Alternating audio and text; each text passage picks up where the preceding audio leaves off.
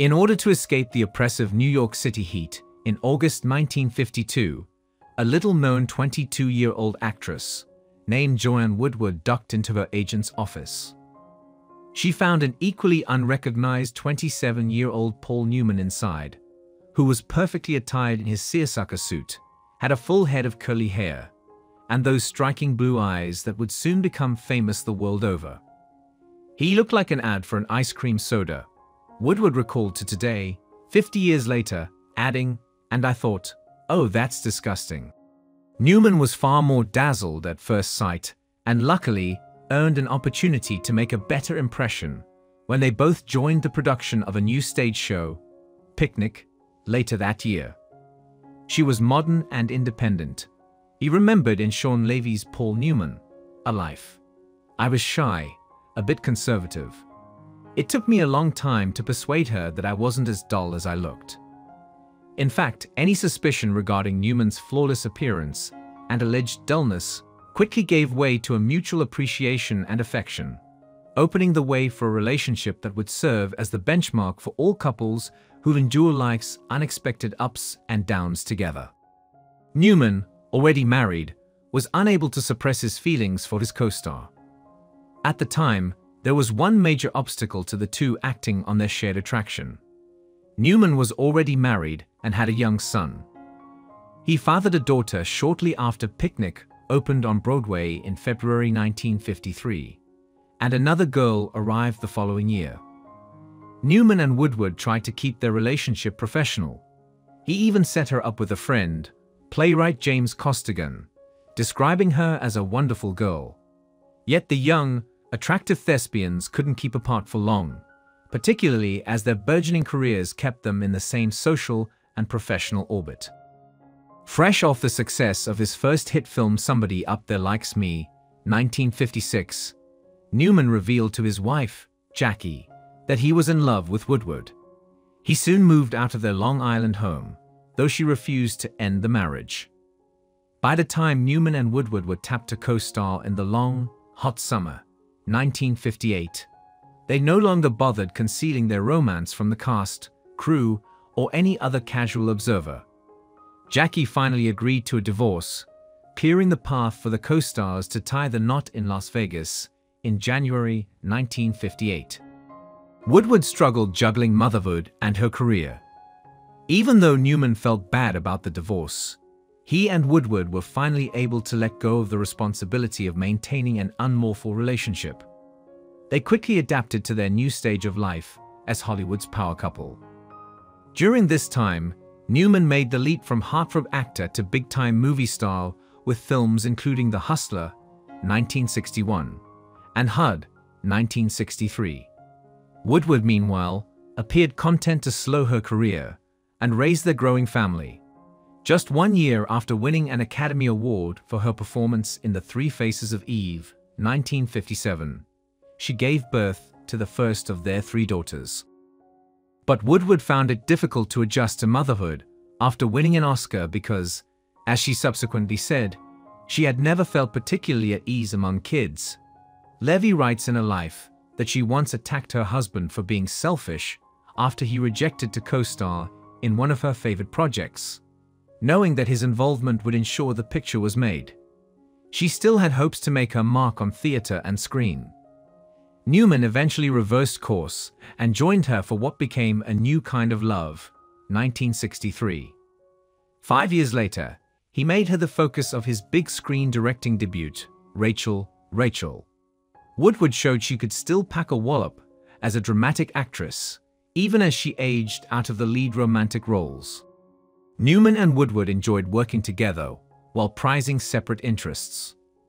Hollywood has a double standard for age and beauty, so Newman breezed into his 40s as one of the most well-known movie stars in the world, while Woodward's career stagnated. The couple decided to take out a full-page ad in the Los Angeles Times in 1969 to make their commitment to one another clear because of the apparent mismatch between the still virile starring guy and his critically acclaimed but lesser-known wife. According to a Life, Newman was having an affair at this time with author Nancy Bacon. By taking a plane to England, the location of their honeymoon, the pair was able to acquire the much-needed one-on-one time they needed to get through what might have been an irreparable break in their marriage. Their relationship survived in part because each discovered an outside interest that, if not fully understood by the other, at least received spousal endorsement. For Newman, it was a curiosity for auto racing that developed into a full-throttle passion following his turn as a driver in 1969's winning. For Woodward, it was an appreciation for ballet, both as a means of exercise and a form of artistic expression, that prompted her to become a patron of several troupes. Together, they campaigned for political candidates and remained devoted to their primary jobs, with Newman again stepping behind the camera to direct his wife in the effect of gamma rays on Man in the Moon Marigolds, 1972. And when it came time to put aside work for the day, the couple retreated to their beloved estate in a wooded section of Westport, Connecticut, which included a treehouse specifically earmarked for their privacy when guests were in town. Aging brought maturity, but not the dimming of mutual affection. Tragedy struck in 1978 when Newman's son from his first marriage, Scott, died from an accidental drug overdose. Everyone in the extended family was shocked by the news, which also seemed to cause the couple's priorities to change. Together, they earned money for the Scott Newman Foundation, which focused on educating people about substance misuse. Newman then built on his illustrious record of philanthropy by starting his hole in the wall gang camps for kids with life-altering illnesses. The shift also was reflected in their screen roles. Newman was now moving into the elder statesman phase of his career, finally nabbing an Oscar for The Color of Money, 1986, while Woodward picked up an Emmy for playing an Alzheimer's patient in the TV film Do You Remember Love, 1985. They also resumed their long-time collaboration with the Newman directed. Woodward headlined The Glass Menagerie, 1987, and went on to co-star in Mr. and Mrs. Bridge, 1990. Despite the serious nature of their performances, the two maintained a playful appreciation of one another in public. Newman, who once famously declared his monogamy by telling Playboy, I have steak at home. Why go out for hamburger? again risked his wife's wrath by comparing her to a bottle of fine wine in a New York Times interview. Later, when Woodward visited him on the set of the 1998 film Twilight, a mischievous Newman pulled a young Liev Schreiber aside to comment on her sexiness. Sound bites aside, there were times when Newman simply needed to be in his life companion's presence.